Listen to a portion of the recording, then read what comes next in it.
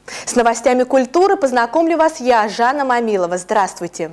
В Москве состоялась презентация новой работы скульптора Зураба Церетели, памятника Марине Цветаевой, который будет установлен во Франции. Туда скульптура отправится сегодня. Скульптор рассказал, что создал два памятника. Один из них изображает Марину Цветаеву, другой – Бориса Пастернака. Оба поэта запечатлены сидящими на скамейках. При этом Пастернак смотрит в сторону Цветаевой. По словам Церетели, на двойной памятнике его вдохновила переписка поэтов.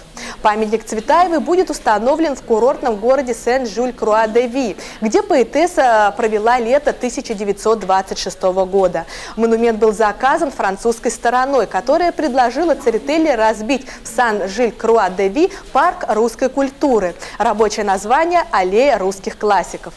Предполагается, что там также появятся памятники Нобелевскому лауреату по литературе Александру Солженицыну, композитору Дмитрию Шостаковичу, виолончелисту Мстиславу Ростроповичу, музыканту и актеру Владимиру Высоцкому, а также Иосифу Бродскому.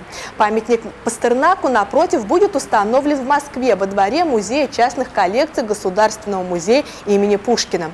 В этом доме Пастернак жил на протяжении 10 лет. Презентация памятника Марине Цветаевой проходила в галерее искусств на Перещинке.